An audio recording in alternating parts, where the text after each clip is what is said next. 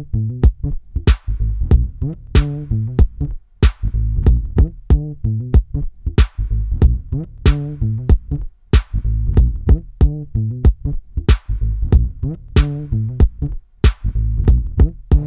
everybody, um, I just wanted to do a little video talking about the e-Golf and how it performed today. Uh, it is very, very cold here in Minnesota. Um, right now the temperature you can see on the dash here, negative 7 degrees Fahrenheit and that's just the actual air temperature. That doesn't take into account wind chill, which is even colder, but yeah, that's what we're going to talk about right now. But um, I just drove to and from work, which is 24 miles round trip.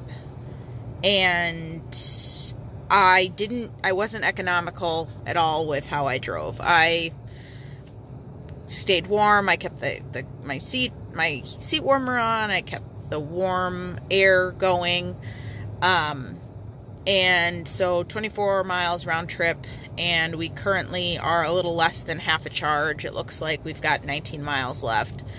Typically, I drive from work to go pick up my son, which is an extra um, 15 miles or so round trip. So if I had to do that today, I would have been a little bit nervous to do that just because I would be cutting it very close. I think I probably would have made it, especially if this morning I would have known that that was, you know, I'd have to go pick him up and I would have driven to work um, probably a little bit more uncomfortably, um, probably a little chillier in here, wouldn't have the heated seat on, wouldn't have the warm air going quite as much.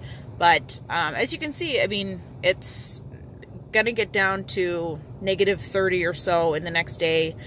Um, and I'll do another video to see how it's performing then, but it drove great. There was nothing different other than um, perhaps the warm air wasn't quite as warm coming into the car. Um, but usually on not such a cold day, I'll get home and I'll have roughly 30-ish miles uh, left. So a change, but not a huge change. Like I said, if I had to go pick up my son it would have been a different story and I probably would have driven a little bit more economically, but still driving great even in the cold weather. Um, so, so far so good. I'll make another video tomorrow when it's even colder and uh, give you guys an update on how the car performs then.